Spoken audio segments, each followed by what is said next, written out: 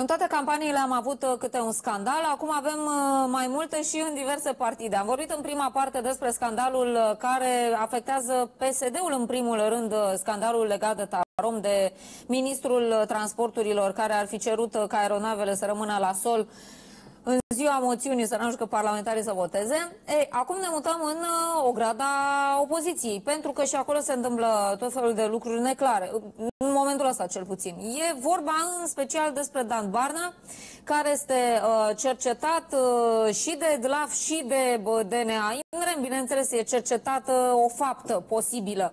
Și uh, Dan Barna a întrebat, uh, după ce a ieșit de la consultările cu uh, Ludovic Orban, întrebat de această chestiune, de faptul că cercetează niște investiții, uh, cei de la ADLAF, uh, a cerut mutarea anchetei în ceea ce privește proiectele sale cu fonduri europene de la ADLAF la DNA. Candidatul USR la prezidențiale susține că se teme că Viorica Dăncilă ar putea să facă presiune asupra ADLAF uh, privind ancheta deschisă pe afacerile sale cu fonduri europene.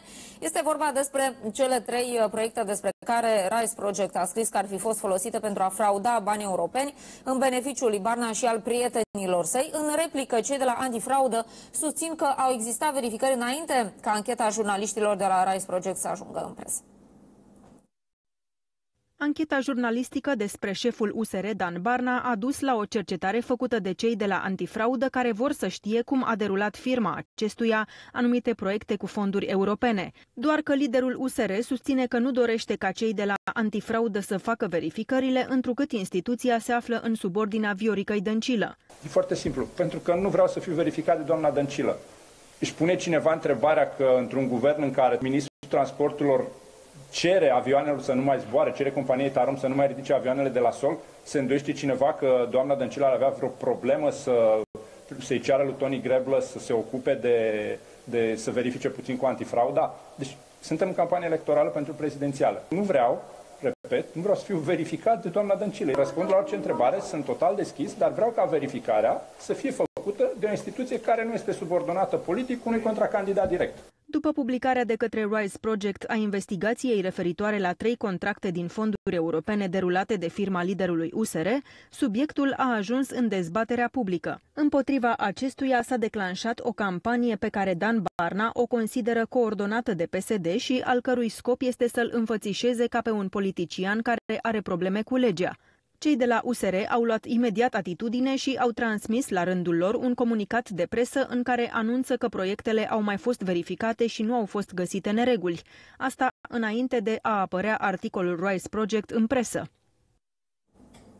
Da, este foarte interesant uh, cum va evolua această cercetare, pentru că ea a venit într-un punct critic. De altfel, asta spune și Dan Barna, că nu întâmplător a apărut acum această cercetare uh, și că, da, e cumva menită să îi afecteze dumnealui parcursul către turul 2 al alegerilor.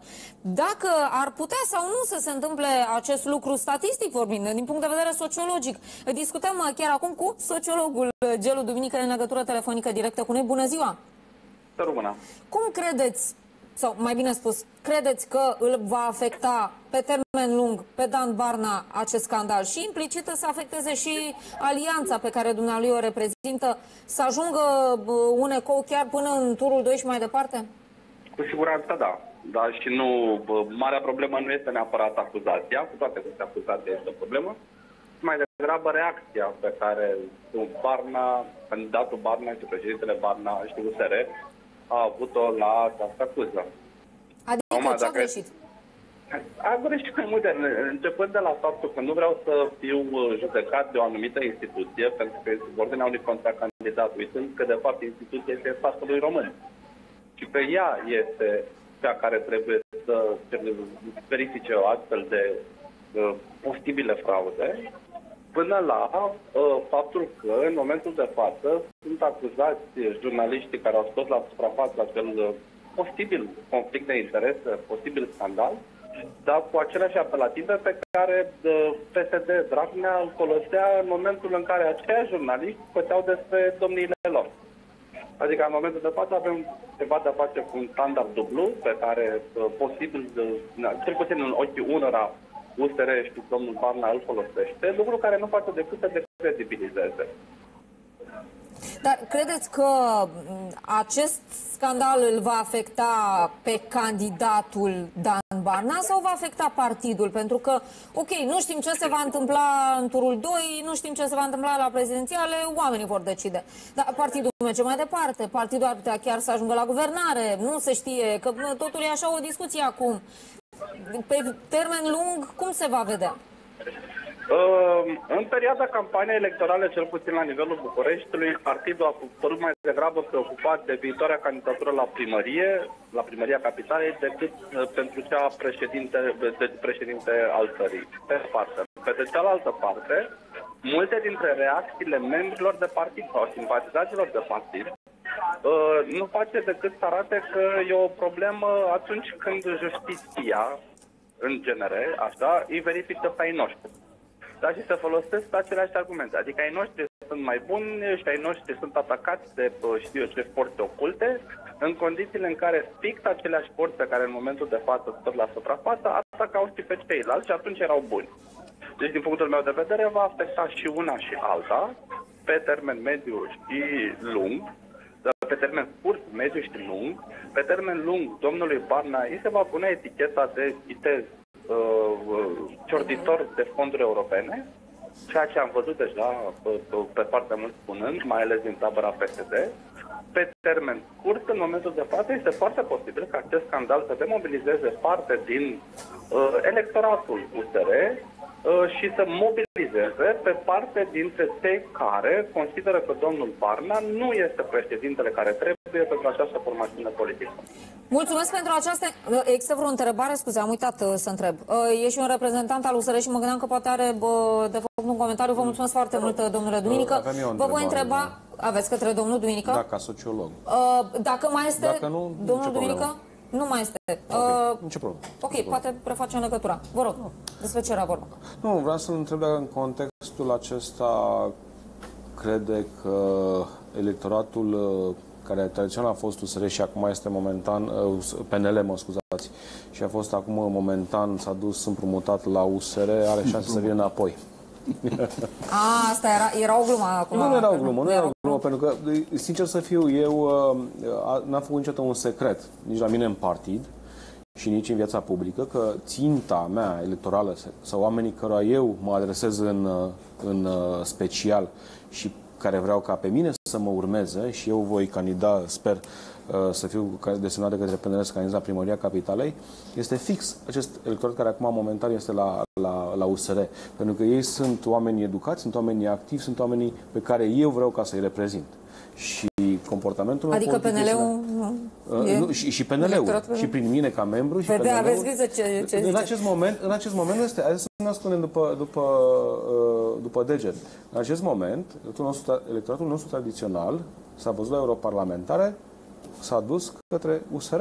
Nu mai În votează. București, mă refer în București. În țară stăm foarte bine. Bun, eu, eu mă v-am refer spus. doar la București. Ok, da? re- revenind Unde la ați avut scandalul rezultate acesta, numai proaste. puțin. Unde am avut rezultate uh, proaste am o și vreau ca întrebare să vină pentru înapoi. dumneavoastră foarte bă, franc așa. Asta credeți că v-a făcut-o cineva cu povestea cu Barna? Uh, Dacă, V-a lucrat cineva? dacă întrebarea dumneavoastră este în sensul acela conspiraționist, Da. nu, și uh, vă spun Asta, eu asta am înțeles din ce spune domnul Barna, sincer. Adică dumnealui Nu. cumva... Nu, vă- vă- haideți să luăm Și să se înțeleagă asta. Eu nu cred lucrul acesta și n-am un motiv să cred lucrul acesta. Prezum despre toată lumea buna credință. E o anchetă jurnalistică și asta a spus și Barna. 1. Este absolut drept, și asta chiar a spus-o public, este absolut dreptul oricălui jurnalist să facă orice fel de investigație. Că a făcut-o primind un pont. Care e problema? Asta da, era doar o constatare, nu era o blamare a acestui uh, lucru. Doi, doi uh, a spus, nu am nimic de ascuns. Tot da, Dan Barna a spus acest uh, lucru. Trei, în prima etapă, atunci când am aflat că este la DLAF, am spus, anchetați. Am preferat ca dosarul să ajungă la DNA. Vă spun și de ce. Și vă dau doar fapte și să judece telespectatorii. Vă aduceți aminte când DLAF-ul avea un protocol, apropo, protocoale, cu Ministerul Dezvoltării, condus întâmplător la vremea respectivă de domnul Dragnea, prin care DLAF-ul trebuia să informeze lunar Ministerul Dezvoltării despre dosarele pe care le trimitea la DNA. Acest uh, DLAF este în subordinea SGG-ului. Da, este instituția statului român în subordinea SGG. SGG este Secretariatul General al Guvernului, este condus în continuare de către domnul Toni Grebla. Mulțumesc frumos pentru completare. S-au schimbat atâția, sincer, este nu? condus DLAF-ul de domnul Kendi. E exact același domn care îl conducea în timpul uh, în care domnul Liviu Dragnea era ministru al dezvoltării și furniza, pe baza unui protocol, informații privind persoanele pe care le anchetează. Diferența esențială, că am auzit asta spusă în, uh, în, reportaj, în reportaj, este că noi am spus are perfectă legitimitate orice jurnalist să facă orice cercetare, nu avem nimic de ascuns. N-am solicitat Asocia- Agenției Naționale pentru Protecția Datelor cu caracter personal să meargă să-i cerceteze pe acei jurnaliști. N-am solicitat ANAF-ului să-i cerceteze, ceea ce, dacă vă aduceți aminte, s-a întâmplat în cazul în care, în situația în, anterioară în care aceiași jurnaliști anchetau chestiuni legate de Asta arată Liviu că sunt Dragnea. obiectivi. Asta arată, asta arată că noi nu avem nici pe departe același comportament. Subliniez, poate a treia oară, dar e foarte important, nu avem nimic de ascuns. Mai trebuie spus ceva. Atât autoritatea de management, organismul intermediar, organismele statului român care supravegheau fondurile europene, au dat bifa de trecere acestor proiecte s-a decontat integral, inclusiv de la Uniunea Europeană, toți, toți acești uh, bani. În plus, înțeleg că la uh, solicitarea, un, la plângerea unui beneficiar, DNA a avut în proiectul pe care l-am discutat chiar aici în studio aseară cu Sorina Matei, a avut o cercetare referitor la acel proiect și a închis dosarul. Deci nu avem nici o problemă. Când l-a închis? Când l-a închis? Când În- l-a închis? l- L-a închis în două etape, înțeleg. Nu, Când l-a închis Nu, nu. definitiv? A, l-a dejuns, Cum o se primă întâmplă etapă. când domnul Barna a afirmat că candidează la președinție, brusc s-a închis dosarul. Nu, nu, dați-mi S-a voi. închis. L-a închis în martie, înțeleg. În martie. Cam ca la domnul Iohannis. Cam așa s-a întâmplat și cu Așa, domnul și Iohannis. Dan Barna a fost desemnat candidat Nu, la al soția domnului partidului în Iohannis. iulie. Deci, Deci nici măcar... deci seamănă cu chestia aia, cu casele, cu astea. Deci Bun, chestiunea vă rog. cu a cere către... Și eu Seamănă. seamănă cu domnul avocat că am terminat amândoi dreptul, Da. dar ne scuzați, știți? Deci, Mă rog, Totuși o domnul diferență. avocat, domnul avocat. Primul uh, trebuie să spunem bun. că de la Ce înseamnă cazul ăsta? este o instituție de contact a OLAF. Da, categoric. Care este europeană. Deci, mai e întâi de organism la european. dacă Da, constată dar nu e anumite... subordonat Olafului. Nu, dar dacă constată anumite nereguli, raportează la OLAF, Perfect. iar OLAF, văzând că poate fi o suspiciune cu privire Perfect. la săvârșirea unei infracțiuni, sesizează organele competente. Dacă Dar chiar vorbim de DLAF-ul infracțiuni- poate sesiza DNA-ul. Da, direct. dar este o procedură indirectă, de regulă se întâmplă așa prin OLAF, sesizare. Există Pentru cale ca acest dosar să ajungă la asta- DNA, asta e ceea ce Există spun. Această cale, iar dacă va ajunge, va ajunge pe acest parcurs dosarul la DNA, nu prin faptul că domnul Barna solicită acum ca DNA să preia acest dosar. Deci Pentru până că la n-ar- urmă tot o n-ar instituție putea să o facă. independentă va decide dacă cercetarea merge mai departe sau Absolut, nu. Corect? absolut. Și aici Adică un Olaf. cuvânt greu de spus îl are Olaf, care Păi și este o atunci instituție credeți că a pur fost europeană. hazardată declarația domnului Barna? Cred că a fost politică, adică domnul eu sunt nevinovat, cer să fiu anchetat de DNA, dar nu e suficient și nu are o susținere juridic vorbind. Nu se poate acest lucru, pe de-o parte. Păi, ba Pe da, de se altă poate parte- pentru că s-a mai întâmplat. Haideți să spunem, s-a mai întâmplat acest lucru în alte dosare în care DLAF a cercetat ceva și a trimis dosarul la Da, DNA. dar În nu, cazul este în care- nu că a solicitat persoana respectivă, ci Da, de la sigur. a trimis În ca cazul Ceea, urmare ceea, a ce, unor ceea ce nu-i suspiciuni. taie lui Dan Bara dreptul de a solicita în... Da, ok, da. Poate să În cazul în solicite care, orice în măsură. cazul în Ne care, raportăm să la lege. zicem, uh, începe DNA-ul o cercetare in rem sau in personam, ei vor decide pe această temă. Uh, domnul Barna a luat o mm, hotărâre ce, fa- ce va face în acea hotărârea e situație, luată, că s-ar fără retrage, penal în funcție pentru că publice dumnealui, da, nu, e tot deja partidul a slogan. susținut uh, această idee, fără penal în funcții publice. Categoric, categoric. Nu. Și haideți să... Da, e, Da. e legitimă întrebarea dumneavoastră. Este Dan Barna în momentul de față condamnat penal definitiv, așa cum prevede inițiativa fără penal în Dar funcție aici publice? este o- Dați-mi voi, Nici dați-mi voi. Nu Vreau este. doar să vă aduc Este o Dan întrebare. Barna trimis în judecată cu rechizitoriu? Legea funcționarilor publici spune că un funcționar public, deși Dan Barna nu e funcționar public, dar mergem pe uh, paralelism legislativ dacă vreți. Un funcționar public trimis în judecată cu rechizitoriu, când încă e nevinovat conform legii, dar trimis în judecată, se suspendă automat din funcție. Nu este Dan Barna în această situație. Dan Barna este cercetat el în persoană pe uh, vreo, vreo spe, uh, peță. Dacă s-a Nu început sau este. în urmărirea penală. Vă rog? Dacă Important e începe dacă s-a urmărirea început penală, sau se în urmărirea retrage? penală, că atunci ai o calitate Dar nu suntem în această procesuală. situație. Deci, Dumneavoastră, ca jurnalist, Da, puteți să au luat faceți o în calcul- speculă în acest Nu sens. fac nicio Dar eu vreau- Nu, nu, în speculație. sensul că eu nu Dacă- voi presupune dacă Dacă. Dan Barna ajunge în situația Nu respectivă. știu dacă ajunge. Eu vreau doar Dacă să ajunge, Eu- eu nu o să a fac o luat- speculație. Dacă în îmi acest puteți o întrebare, care rog. este poziția partidului? Ce înseamnă fără penal în funcții publice? Adică când o persoană este penal? Când s-a început urmarea penală s-a pus în mișcare acțiunea penală, e trimis în judecată, e condamnat în prima instanță. Până la Condamnată urmă, penal definitiv. Definitiv. Așa scrie în inițiativa care a circulat, a primit un milion de Bun, semnături. important. La noi la PNL Pentru avem că așa această noțiunea măsură de penal, care statutară. nici măcar nu e o sintagmă juridică. Da, Nu eu vreo aș trei, vrea- patru aș vrea- penal, dacă e să Aș vrea ca să dau punctez cine. aici, pentru că aș vrea ca să scăpăm puțin de ipocrizie. Noi avem un statut. Dacă cineva este condamnat penal, este out din partid. Nu mai stăm să discutăm. Condamnat definitiv. Da? Dar nu pot să remarc ipocrizia acelora din USR în special și îmi pare rău aici, Cristian, Chiar vreau să aud da? despre ce vorbim. care acuză uh, faptul că au fost oameni, fiind un partid mare, este normal și procentual este normal să fie acuzați uh, și care evident nu au fost condamnați în justiție, da? deci nu au ajuns la statutul de penali. Dar direcția de comunicare și ce puțin eu sunt asaltat pe Facebook cu o grămadă de astfel de acuzații. Deci rugămintea mea către voi și către tine Acuzații din partea noastră?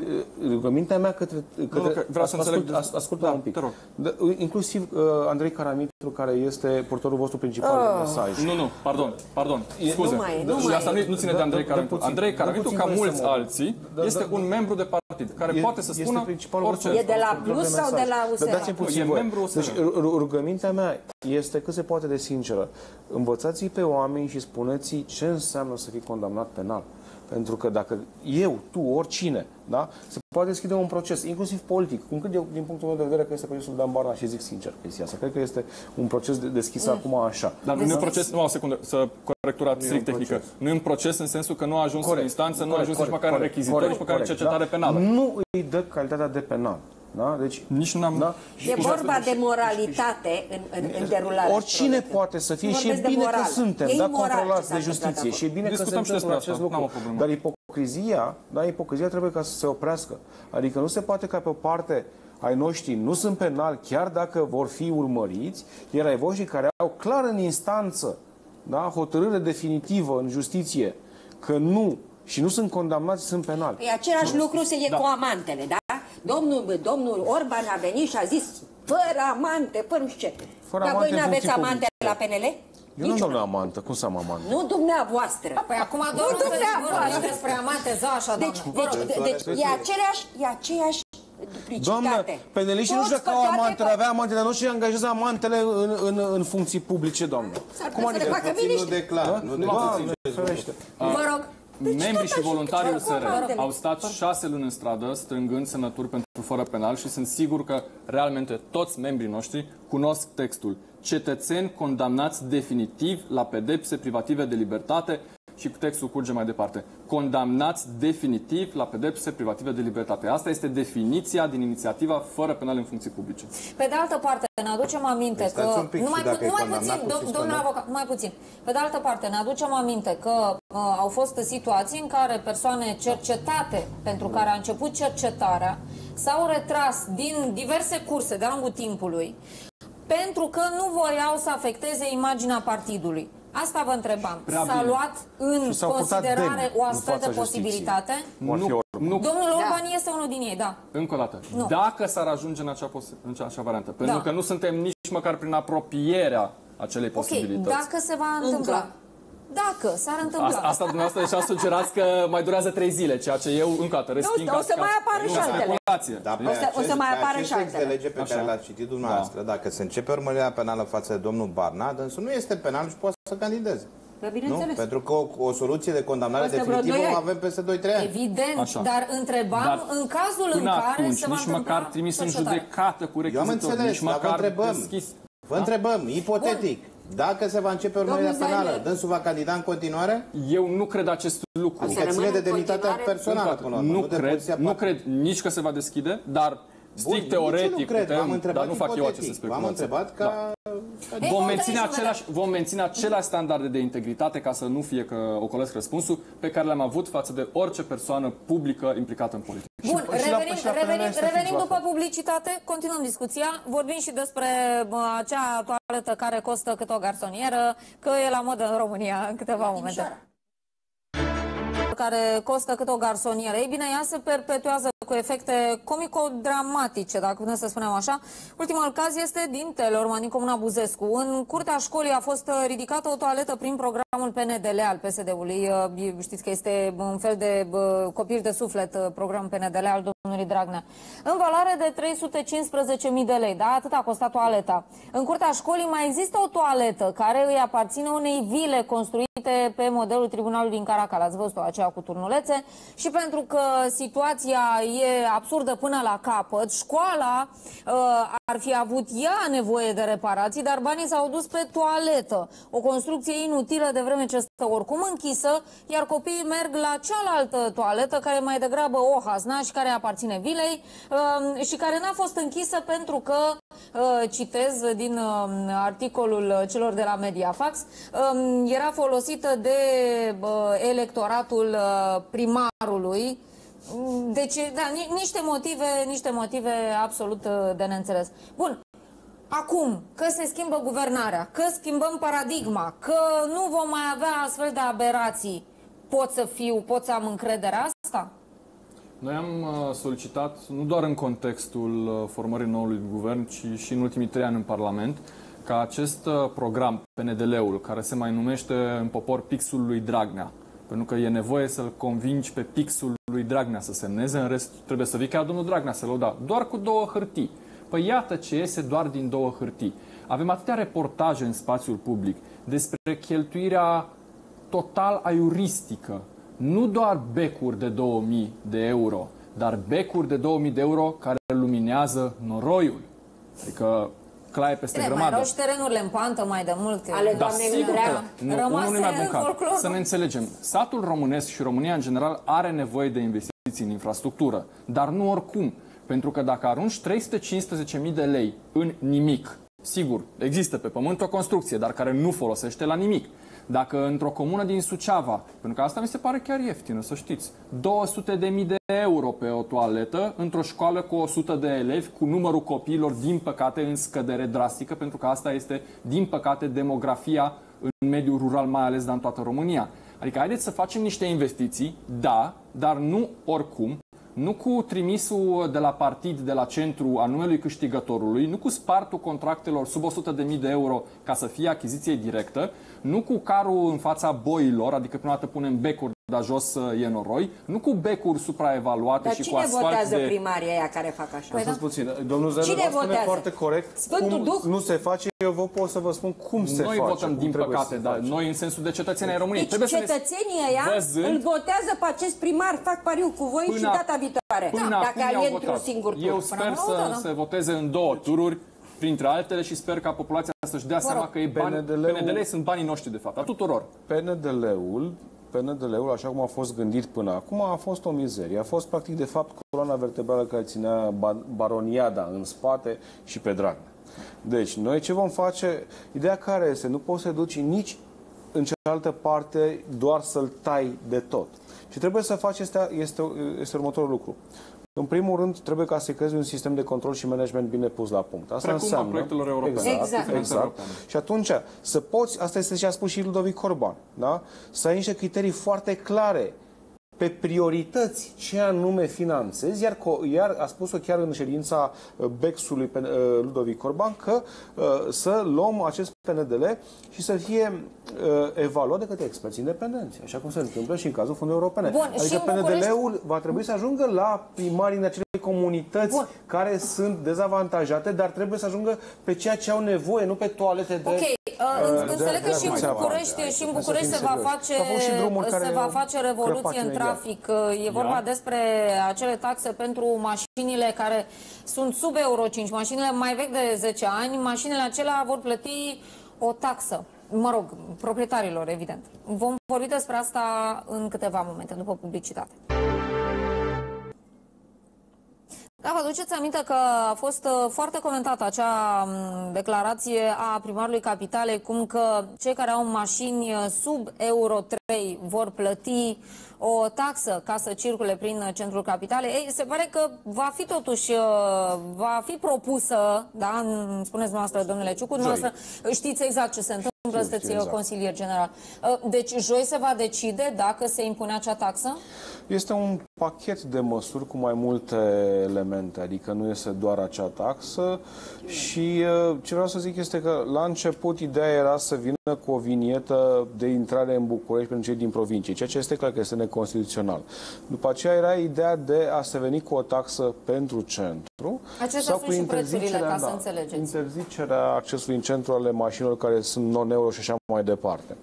Acum, după ce a comunicat destul de puternic pe tema aceasta, cu multe postări pe Facebook, s-a cam 15 fâslit. lei pe zi, non-euro. Aha. Non-euro. Și sub, eur, uh, sub uh, euro Toate, 3... toate, toate mașinile, deci indiferent de număr, nu? Uh, Este, 15, da, da, da, 5. este indiferent de număr, este pentru toată lumea.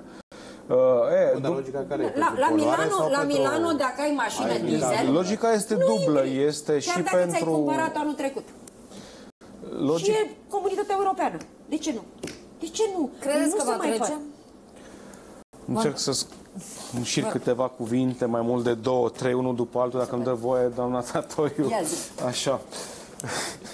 Uh, lo- Logica care este, da? Pe de o parte, principala problemă, domnului Fire, este congestia, pe care nu are și să o rezolve niciun fel.